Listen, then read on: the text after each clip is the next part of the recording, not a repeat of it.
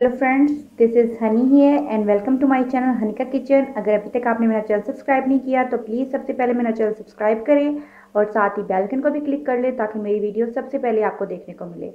आज मैं बनाने जा रही हूँ बिहारी पुलाव गोश्त। बड़ी डिफरेंट सी रेसिपी है, बहुत कम स्पाइसेस के साथ और बहुत झलटी झटपट रेडी होती है। फुल ऑफ़ देसी टेस्ट है तो हम देख लेते हैं। पहले हम बनाएँगे गोश्त का सालन जो पुलाव के साथ सर्व करना है। उसके बाद मैं आपको बताऊँगी कि पुलाव कैसे बनाना है। तो पहले देख लेते हैं कि गोश्त के सालन के लिए क्या यूज़ हो रहा है। मैंने हाफ़ बॉल से थोड़ा सा ज़्यादा ऑयल लिया है। यहाँ पे मेरे पास वन के जी चिकन है बोन्स के साथ है ये। ये मेरे पास हाफ़ के जी अनियन है। स्लाइस में कर लिया क्योंकि इसमें हमने ग्रेवी बनानी है, इसलिए अनियन थोड़ा ज़्यादा यूज़ होगा। हाफ़ के जी मेरे पास पोटैटोज़ हैं, जो कि मैंने पील ऑफ़ करके इसे भी क्यूब्स में बड़े बड़े क्यूब्स में कट कर लिया है। मेरे पास एक पाव के करीब योगर्ट है। इसके अलावा जिंजर गार्लिक पेस्ट है one and half spoon one spoon garam masala powder है। वन एंड हाफ़ स्पून ही मेरे पास नमक है। वन एंड हाफ़ स्पून धनिया पाउडर है और वन एंड हाफ़ स्पून सुरख मिर्च पाउडर है। हाफ़ स्पून से थोड़ा सा कम मेरे पास हल्दी है। ठीक है? इसके लिए मैंने स्टव पे रखी थी देगची गर्म होने के लिए। ये अच्छे से गर्म हो गई है तो मैं इसमें ऑयल शामिल करूँगी। ऑयल जब अच्छे से गर्म होगा अच्छा मेरा फ्लेम तेज़ है हाई है, जब ऑयल हमने अच्छे से गर्म करना है, उसके बाद हम इसमें अनियन शामिल करेंगे। ऑयल के अच्छे से गर्म होने के बाद हमने जो हाफ़ के जी हमारे पास अनियन था, ये इसमें शामिल कर देना है। अनियन को हमने तब तक फ्राई करना है जब तक ये लाइट लाइट ब्राउन कलर में आ जाए, प्यारा सा गोल्डन ब्राउन कलर हो जाए, उसके बाद मैंने अनियन को ऑयल से जब ये लाइट ब्राउन कलर में आ जाएगा तो इसको अनियन से मैंने निकाल के ऑयल से जूसर ब्लेंडर जूसर में ग्राइंड कर लेना है, ताकि हमारे पास जो रिक्वायर्ड ग्रेवी है, वो इजीली बन जाए। तो इसको मैंने लाइट ब्राउन करना है। अनियन लाइट लाइट से गोल्डन ब्राउन होने शुरू हो गए तो मैंने इन्हें ऑयल से निकाल के सेपरेट कर लेना है ग्राइंडर के जग में और इसको मैंने थोड़ा थोड़ा पानी डाल के ग्राइंड कर लेना है। ऑयल से सारा अनियन जो है वो निकाल के मैंने ग्राइंडर के जग में रख डाल दिया है। इसी ऑयल में मैं शामिल करूँगी अपना चिकन और इसको करूँगी अच्छे से फ्राई चिकन हो गई है अच्छे से फ्राई ये देखें बिल्कुल इसकी हीट स्मेल ख़त्म हो गई है। यहाँ पे हमने ग्राइंड कर ग्राइंड कर लिया है अपने अनियन को। उसका अच्छा सा पेस्ट बना लिया है। अब हमने इस अनियन के पेस्ट को करना है चिकन में शामिल, ताकि रिक्वायर्ड जो ग्रेवी है विद इन फ्यू मिनट्स हमें मिल जाए। इसके ला, इसके बाद हमने शामिल करना है जिंजर गार्लिक का पेस्ट नमक, मिर्च, हल्दी, धनिया पाउडर और ये मेरे पास वन बॉल योगर्ट है, ये भी इसमें शामिल कर देंगे। इसको करना है अच्छे से मिक्स मसाले को हमने चिकन में, अनियन के साथ अच्छे से मिक्स कर लिया है। इसी स्टेज पे हम इसमें जो हमने क्यूब्स में करके रखे थे पोटैटो बड़े बड़े क्यूब्स में, वो भी शामिल कर देने हैं। इनको हमने twenty fifteen minutes minimum fifteen minutes का हमने इसे टाइम देना है। मीडियम फ्लेम में ढक कर कवर करके इसे फिफ्टीन मिनट्स का टाइम देंगे। इन फिफ्टीन मिनट्स में ये मसाला भी अच्छे से भून जाएगा और ये चिकन और पोटैटोज़ भी और डन हो जाएँगे। तो हमने इसे मीडियम फ्लेम में कवर करके फिफ्टीन मिनट्स का टाइम देना है। जब तक गोश्त का जो सालन है वो रेडी हो रहा है, हमने इसे 15 मिनट्स का टाइम दिया है, हमने टाइम वेस्ट नहीं करना। मैंने दूसरे स्टव पे रखी थी, अपनी देगची गर्म होने के लिए। हमने स्टार्ट करनी है पुलाव की प्रिपरेशन देख लेते हैं उसके लिए क्या चीज़ें ज़रूरी हैं। मैंने हाफ़ बॉल ऑयल लिया है।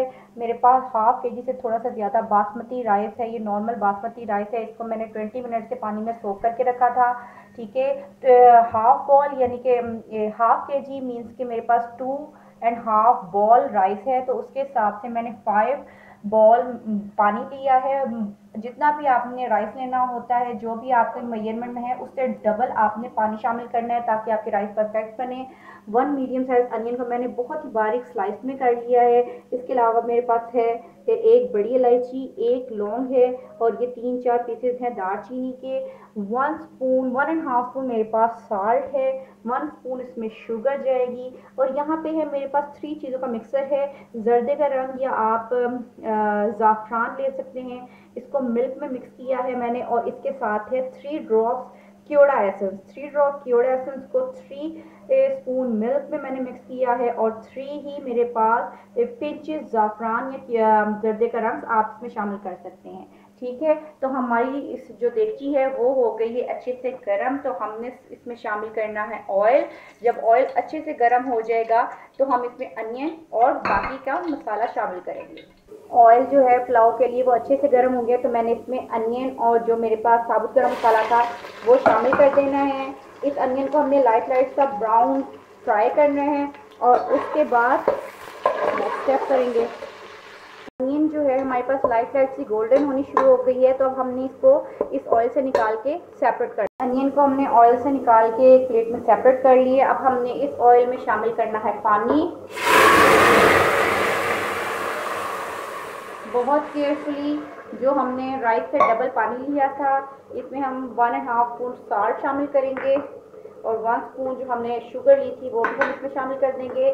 फ्लेम हाई करके इसमें उबाल लेके आएँगे, जब इसमें उबाल आ जाएगा तो हम इसमें राइस शामिल करेंगे। पानी होने लगा है बॉयल तो मैंने जो राइस भिगो के रखे थे, उसे पानी से सेपरेट कर लिया और मैं सारे राइस इसमें शामिल कर दूँगी। जी, मैंने राइस को उसमें पानी में शामिल कर दिया है, इसको आप हल्का सा मिक्स कर लें। इसको मैंने हाई फ्लेम में सारा पानी ड्राई करना है। जब इसका वन थर्ड वाटर रह जाए, यानी जब राइस ज़्यादा नज़र आना शुरू हो जाए, पानी कम नज़र आ जाए आना शुरू हो जाए, तब हमने इसे दम पे देना है। अभी मैंने फ्लेम हाई किया हुआ है।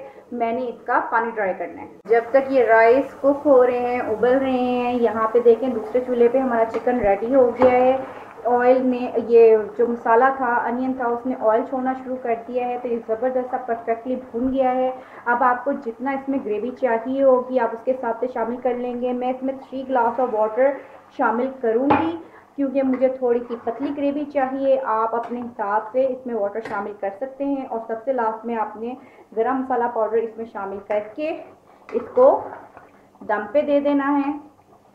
तो मैं इसको टू ग्लास ऑफ़ वाटर और इसमें शामिल करके इसे फ्लेम लाइट करके सिर्फ़ और सिर्फ़ फाइव मिनट के लिए दम पे दूँगी और उसके बाद रेडी कर लूँगी। इसमें जितनी भी मुझे रिक्वायर्ड ग्रेवी थी, क्योंकि बिहारी पुलाव में जो शोरबे वाला सालन होता है, उसमें ज़्यादा पतली ग्रेवी होती है, इसलिए मैंने इसमें थ्री ग्लास ऑफ़ वाटर शामिल करके इसको फाइव मिनट के लिए दम पे रखा है। दूसरी तरफ़ हमारे जो पुलाव के राइस थे ये देखें, इसमें जो है, मैंने हाई फ्लेम करके इसका पानी ड्राई किया है। इसमें अब अन्य ये जो राइस है, वो ज़्यादा नज़र आना शुरू हो गए पानी कम नज़र आना शुरू हो गया ये परफेक्ट टाइम होता है कि मैंने इसका कर दिया है फ्लेम स्लो बिल्कुल लाइट और मैं इसको दूँगी फाइव मिनट के लिए दम पे।